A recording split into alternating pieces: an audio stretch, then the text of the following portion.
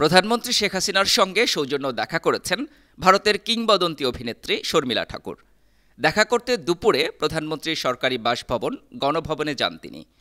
বাইশতম ঢাকা আন্তর্জাতিক চলচ্চিত্র উৎসবে এশিয়ান কম্পিটিশন বিভাগে জুরি বা বিচারক হিসেবে দায়িত্ব পালন করতে ঢাকায় অবস্থান করছেন এই অভিনেত্রী। এ সময় অন্যদের মধ্যে টলিউড অভিনেত্রী স্বস্তিকা মুখার্জি, মমতা শঙ্কর সহ চলচ্চিত্র উৎসবের আয়োজক আহমেদ মুস্তবা জামাল উপস্থিত ছিলেন।